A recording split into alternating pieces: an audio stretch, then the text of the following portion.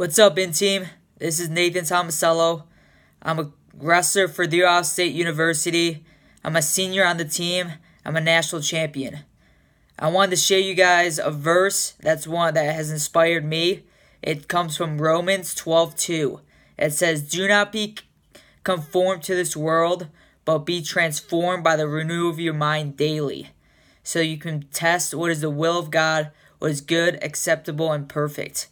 I think this verse applies to us so much because of how impactful it is to be focused on Jesus each and every day.